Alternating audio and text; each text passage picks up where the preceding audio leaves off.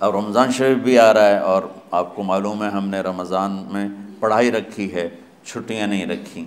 जब मैंने हसनैन शुरू किया उन्नीस सौ निन्यानवे में तो अल्लाह ने मेरे दिल में ये बात डाली कि रमज़ान तो इल्म का महीना है, इन्ना अनजल्ला फ़ी लतिल कद्र। और चारों आसमानी किताबें रमज़ान में और सारे सहीफ़े रमज़ान में। पता नहीं अल्लाह को क्या पसंद था इस महीने का। हज़रत इब्राहीम अलैहिस्सलाम पर छोटी किताबें उतरी, यकम रमज़ान को। हज़रत मूसा पर तौरात उतरी, दो रमज़ान को। हदाउद अलैहिस्सलाम पर ज़बूर उतरी, छः रमज़ान को। हसीसम पर इंजील उतरी, बारह या अठारह रमज़ान को। और अल्लाह के नबी पर कुरान उतरा, फ़ी लतिलक़द्र लतुल्क़द्र में उतरा। तो सारा आसमानी इल्म रमज़ान में उतरा। सारे महीनों के नाम अरबों ने रखे। मुहर्रम, सफ़र रबी अव्वल रबी सानी जुमादलूला जुमादरसानी रजब, शाबान, रमज़ान शवाल जुल्क़ायदा, जुल्हज। इसमें जो रमज़ान है, ये नाम अल्लाह ने रखा। बाकी महीनों के नाम तो रखे अरबों ने। फिर उनकी ज़ुबान पे अल्लाह लाया रमज़ान। चूँकि अभी तो दुनिया भी नहीं बनी थी और अल्लाह ने कुरान की तिलावत फरमाई थी। तो उस कुरान में था, शाहर रमदान अल्लदी उन ज़िलफ़ी तो रमज़ान का नाम अल्लाह ने पहले से चुन रखा था, फिर उनसे रखवा दिया। रमज़ान कहते हैं, रमज़ा यरमज़ो, जल जाना जल जाना। रमज़ान को रमज़ान क्यों कहते हैं? कि इसमें गुनाह जल जाते हैं। मुसलमान पहला रोज़ा रखता है और उसके गुनाह अल्लाह जलाना शुरू करता है। उसकी भूख प्यास की आग में गुनाहों को डालता है, जलाता है। आखिर उनतीस रम, उनतीस रमज़ान या तीस रमज़ान आखिरी रात अल्लाह ताला उसकी पिछले साल के सारे गुनाह माफ़ फरमा देता है।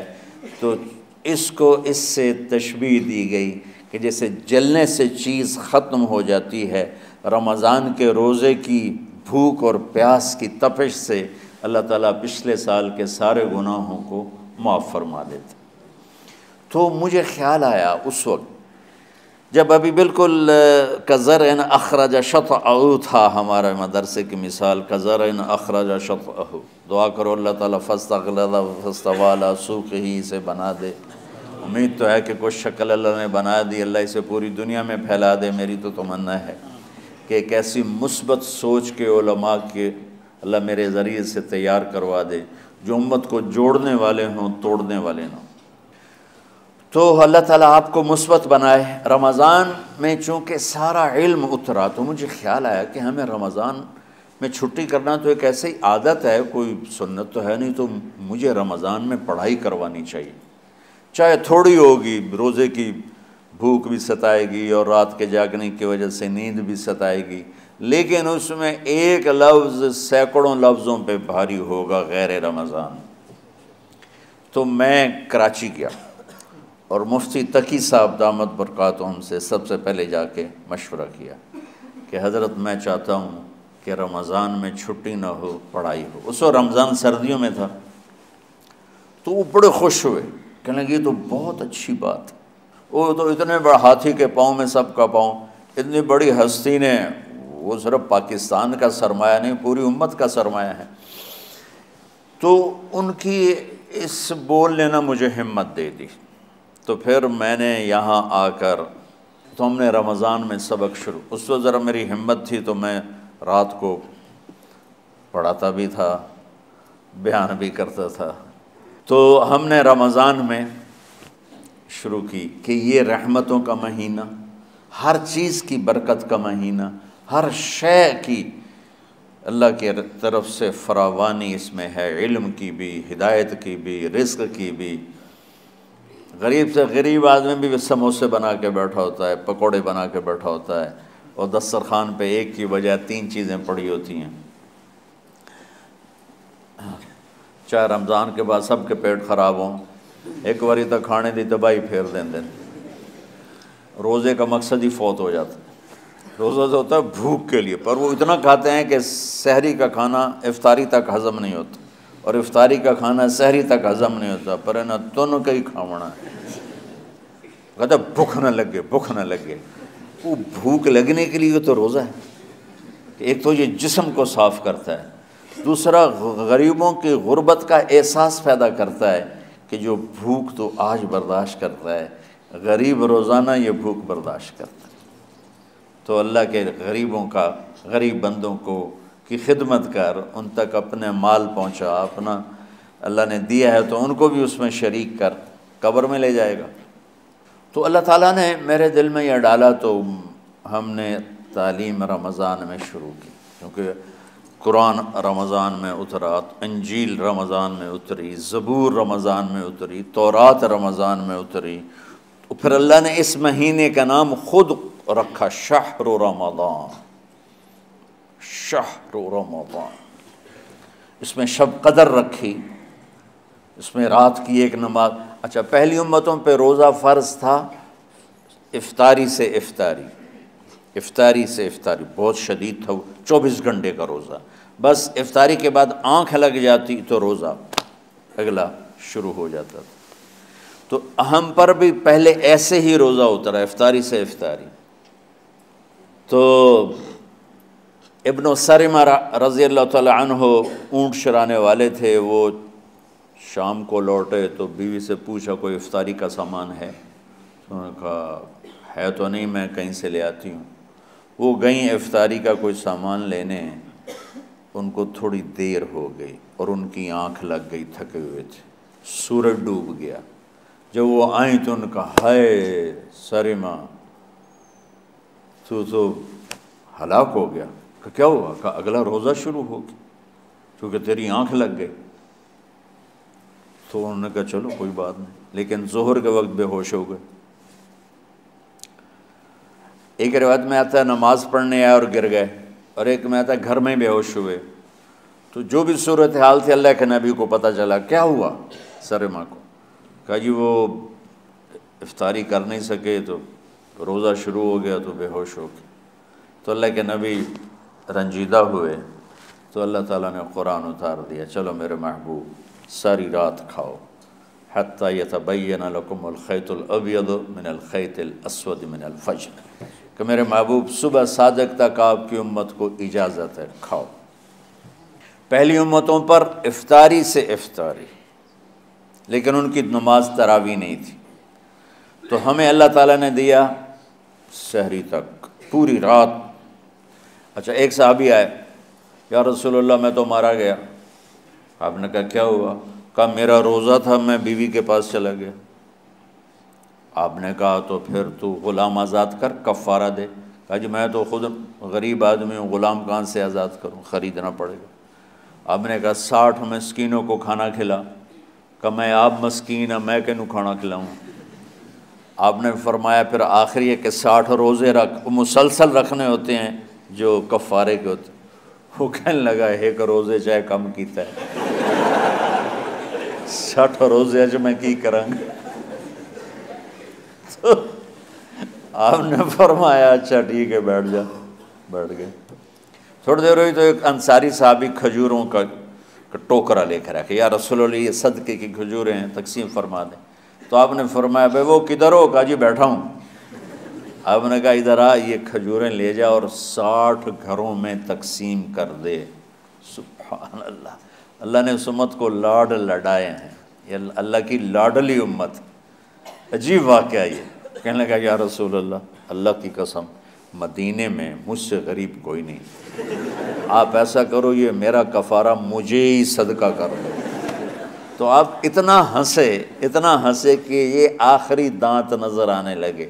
बहुत कम ऐसा होता था फ़ज़ाह का हत्ता बदत नवाजिदो ऐसा हंसना आप कभी कभी हँसते थे कि आखिरी दांत, पूरा मुँह खुल जाए।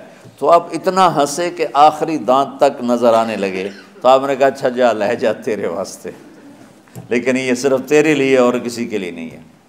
तो जब ऐसी ख़यानत हुई तो अल्लाह ताला ने दूसरा हुक्म भी उतार दिया बाशरोहन, कि तुम्हारे लिए बीवी भी हलाल है, खाना भी हलाल है, जब तक सुबह सादिक नहीं हो जाती।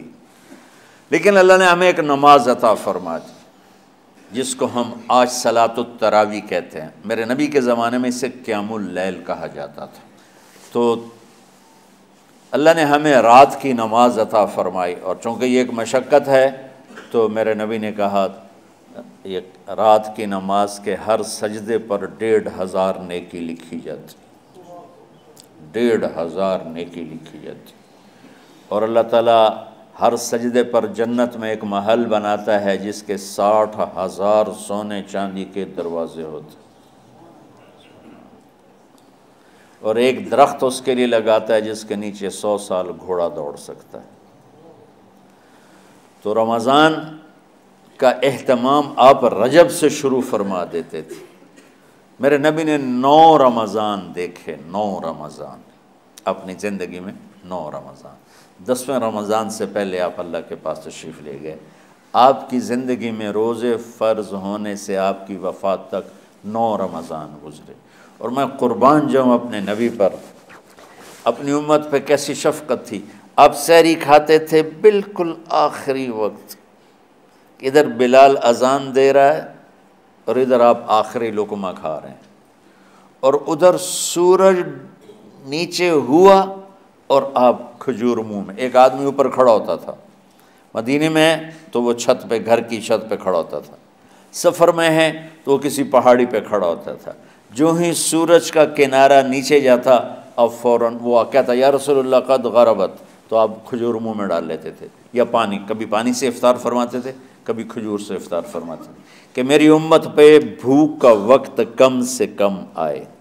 आजकल जो ये हमारे इफ्तारी के अवकात हैं ना ये सूरज डूबने के भी दो ढाई मिनट बाद के हैं कि एहतियातन। ठीक है, चलो एहतियात कर लो, कोई मसला नहीं। लेकिन असल है, इधर सुर, चूँकि अब सूरज हमें नज़र ही नहीं आता है इस तरह हम घिरे हुए हैं शहरों में। देहातों में भी अब इस तरह का माहौल है कि वो नज़र नहीं आता है। तो बेहतर क्या, इधर सूरज गायब हो, इधर लुक मुँह में जाए।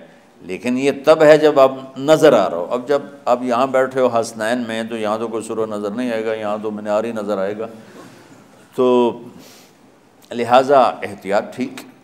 हमारे अल हदीस भाई वो दो मिनट पहले हमसे इफ्तार करते हैं तो बड़ी अच्छी बात है कि सूरज के गुरूब होने का जो असल वक्त है, उसके साथ ही इफ्तार करना।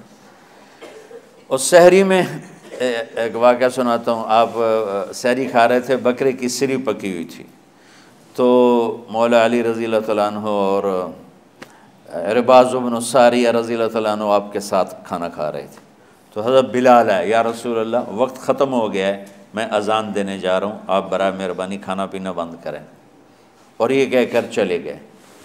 छत, एक अंसारी औरत थी, उसके घर की छत पे चढ़ के अजान देते थे। चढ़ने लगे तो फिर वापस आए कि देखूँ अल्लाह के नबी ने खाना छोड़ दिया या नहीं। आके देखा तो वो खा रहे थे। उन्होंने कहा, या रसूल अल्लाह है, लक़द असबहता। या रसूल अल्लाह अल्लाह की कसम, सहरी का वक्त ख़त्म हो गया, सुबह हो गई। तो आपने हाथ पीछे कर लिया, कह रहे, तेरा भला हो बिलाल, अभी वक्त बाकी था। तेरे कसम खाने पर अल्लाह ने उसको पहले निकाल दिया कि तेरी कसम कहीं झूठी ना पड़ जाए। तो हज़रत अली ने फरमाया कि अगर बिलाल कसम ना खाते तो जब तक मेरे नबी खाते रहते, सुबह सादिक नहीं होनी थी। तो बिल्कुल आखिरी वक्त में आप खाते थे। ताकि कम से कम वक्त उम्मत पे भूख का आए। तो अल्लाह ताला आपके इल्म में बरकत दे। रमज़ान इल्म का महीना है। सोने का नहीं है, खाने का नहीं है, समोसे पकौड़े का नहीं है। रमज़ान इल्म का महीना। शब कदर इसमें है। अल्लाह का अर्श पहले आसमानों पर है। सारा दिन, सारी रात अल्लाह के ऐलान हो रहे हैं। कोई बख्शिश चाहने वाला, कोई माफ़ी चाहने वाला, कोई रिस्क चाहने वाला, कोई हिदायत चाहने वाला, कोई शिफा चाहने वाला। और फरिश्तों के ऐलान हो रहे हैं, भलाई करने वाले आगे बढ़, बुराई करने वाले बस कर दे। तो जो रहमत है रमज़ान में, मेरे नबी ने फरमाया, अगर मेरी उम्मत को पता चल जाए कि रमज़ान क्या है तो ये तमन्ना करेंगे कि काश सारा साल ही रमज़ान होता। तो बच्चों, आप खुशकिस्मत हैं कि आपका जो रमज़ान है, वो इल्म की तलब में है। इसमें अगर आप सोए भी होगे ना तो आपको वो अजर मिलेगा जो नफलें पढ़ने वालों को भी नहीं मिलेगा। एक शख्स आया कया रसूल अल्लाह अब देखो आप अल्लाह के रास्ते में हो, आप अल्लाह के रास्ते में हो। एक शख्स आया, या रसूल अल्लाह क्या मैं कुछ माल खर्च करके अल्लाह के रास्ते में जाने वाले का अजर ले सकता हूँ?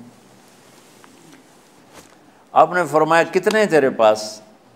कहने लगा, जी छः हज़ार। उस दौर में छः हज़ार बहुत बड़ी दौलत थी। तो आपने उसे फरमाया कि तू छः हज़ार, तू तो कुछ कह रहा है, और मैं ये कह रहा हूँ, तू सारे भी खर्च कर दे।